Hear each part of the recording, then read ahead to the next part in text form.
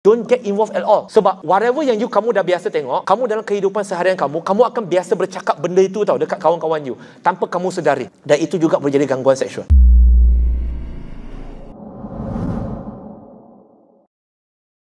Kes ni, mangsa ni dah berkahwin, dapat seorang anak, tapi suami dia dingin pada dia. Sangat dingin pada dia. Bila dia cakap macam tu, the first thing come to my mind, okay, most probably I know what happened lah. Lepas tu, go on and on, suami dia melayan pelacur. Sorry, saya tak kata benda ni betul. Eh. Secara undang-undang, secara etik, secara agama pun tak betul.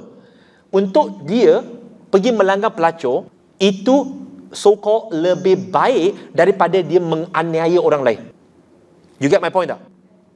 Okay, saya tak kata baik eh. Saya kata lebih baik daripada dia menzalimi orang lain yang akan ada trauma. Sebab pelacur memang dia dah terima benda itu sebagai pekerjaan profesion dia. Now, bukan itu je.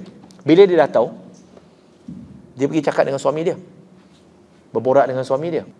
Lepas tu, abang kenapa buat semua ni bla bla bla bla bla. Dia kata, abang macam mana? Dia berbincang dengan baik. Bila dia berbincang, dia kata, tak apa, I can give it to you. So, suami dia tanya dia, betul, awak boleh bagi? Boleh?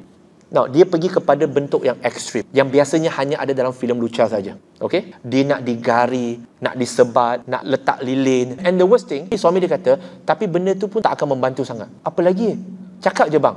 Kalau anything yang I can do to make our marriage flourish, I will do it. As long halal. Suami dia minta untuk buat luar tabi'i. You know what is the root cause?